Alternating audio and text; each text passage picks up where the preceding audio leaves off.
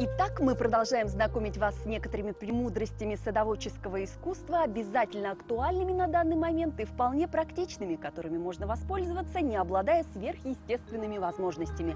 А помогать нам в этом уже по традиции будет Людмила Николаевна Шубина. Людмила Николаевна, здравствуйте. Мы Здравствуйте. знаем, арсенал ваших познаний безграничен в этой области. И все-таки на чем мы сегодня сосредоточимся?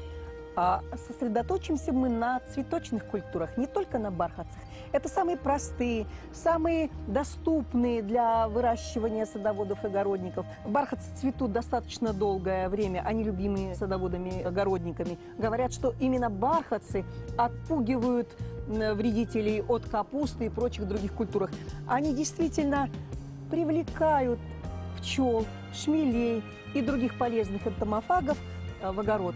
А если там полезные есть энтомофаги, то, естественно, происходит антагонизм между э, вредителями. Вредителями. Да. И поэтому, именно поэтому бархатцы полезны в любом саду и огороде. Когда мы высаживаем бархат? Обычно бархатцы высеваются э, в марте, в конце марта. И вот, Это рассада, Да, это рассада. И высаживают на постоянное место тогда, когда все-таки угроза возвратных заморозков минует. Это ближе к концу мая, началу июня. Самые простые, самые надежные и одни из самых полезных цветов. Но есть и другие, более интересные цветы.